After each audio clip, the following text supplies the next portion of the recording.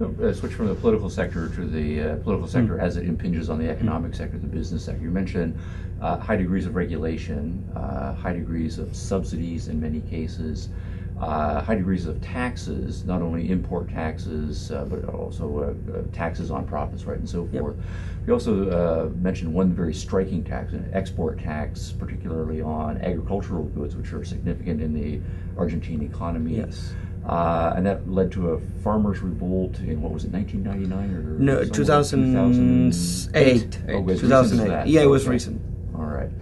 Uh, so all of these things then make for certain ethical dilemmas, right? As you talked about in your in your talk, to the extent that you want to do the things that will make you successful in business, if you're going to get those things done, you can't uh, keep your hands clean, right? As you're saying, one of the things that you have to do in Argentina at some point is bribe people. Uh, yes. Is that a fair assessment? Yes, I, I, I think, yes. Yes, I think so. Yes. Right, so, so, give me an example of a situation under which a business operator would have to resort to bribery.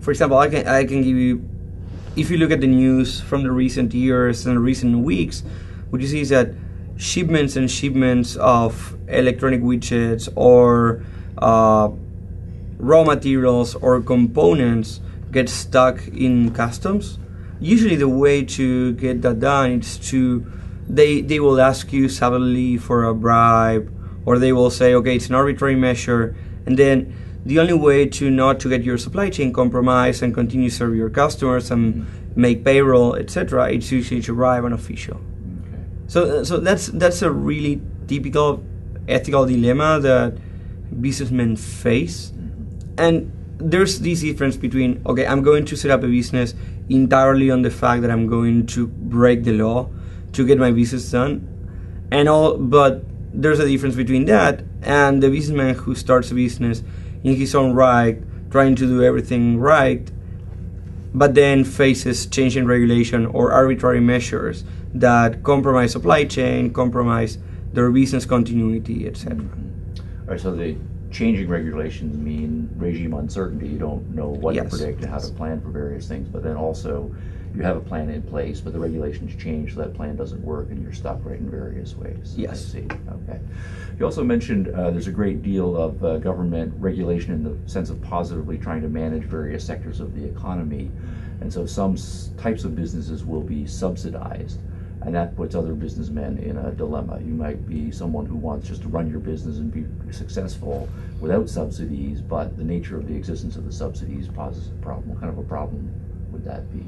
Well, one of the I, I, I, I, I like a, an example that I heard a few weeks ago of a friend of mine who's a consultant, and she, her clients are mostly small firms and now there's a line of subsidies of uh, to available for uh, small businesses, which is for an amount of more or less almost twenty-five thousand dollars, which in Argentina it's a considerable amount of money.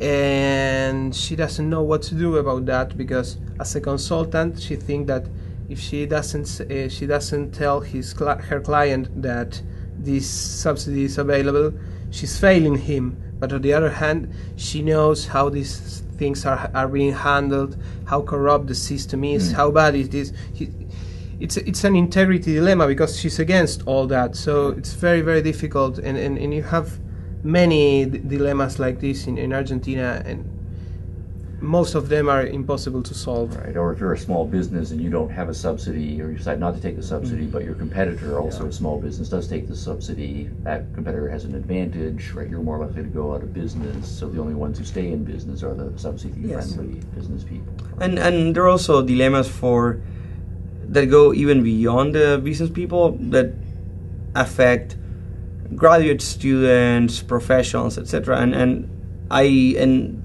we talk with Federico about this a lot.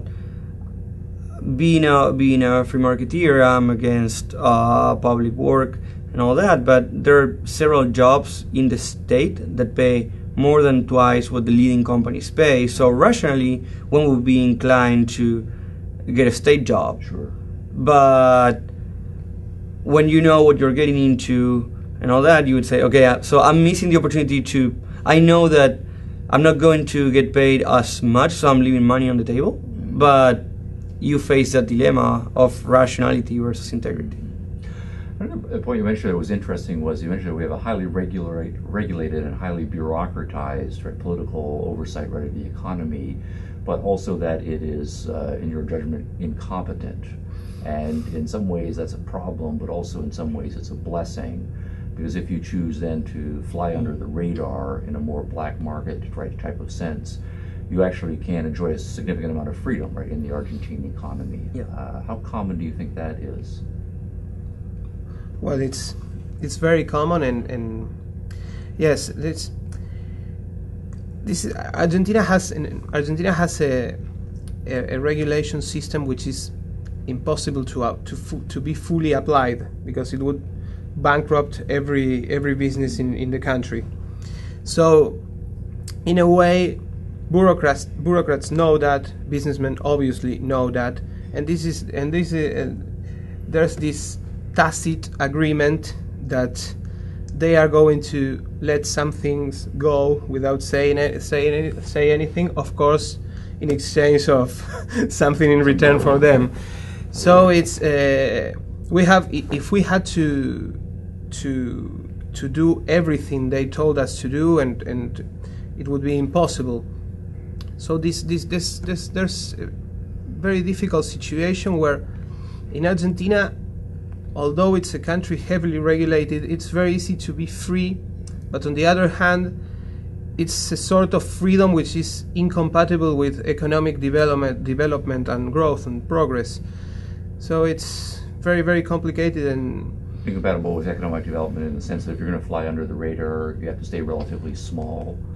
Yes, and, and, and, right. and That, you have that's what I'm saying, and that's something that happens in many economies, and that's that's a really studied, deeply studied problem by Mm. by economists. That when you face these situations where you have regulation uncertainty or you have over over regulation in the economy, what happens is that companies are usually smaller, and then since they are smaller, it's more difficult f- for them to compete with the world. Then they are less effective, Mm. and that derives in lower capitalization rate for the companies. But also,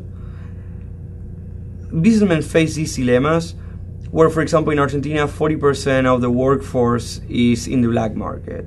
Huh. And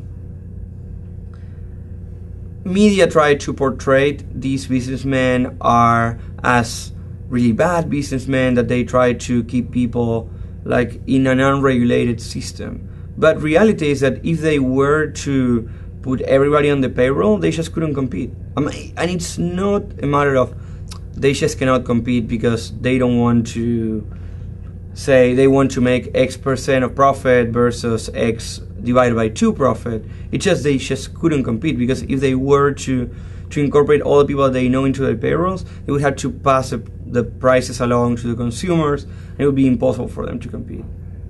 Your uh, Bases Foundation, of which you're president and vice president, it's an educational uh, uh, foundation, and you're deeply interested in the economic and political issues in Argentina. What's uh, the strategy of the foundation's educational mission? Well, yes, we. What we're trying to reach is uh, university students mostly and their faculty when possible, and what we what we do is uh, we try to spread our message mostly um, through academic events such as conferences, lectures, seminars.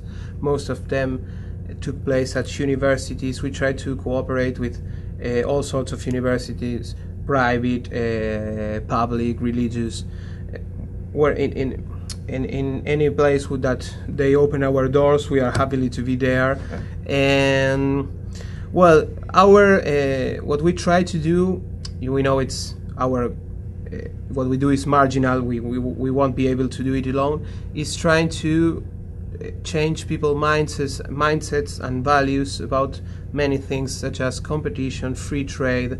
In Argentina, due to some uh, political problems that we have in the 90s, uh, classical liberalism is uh, identified with the opposed of, of uh, what classical liberalism really is. So monopolies and businessmen who do not compete with anybody and do whatever they want.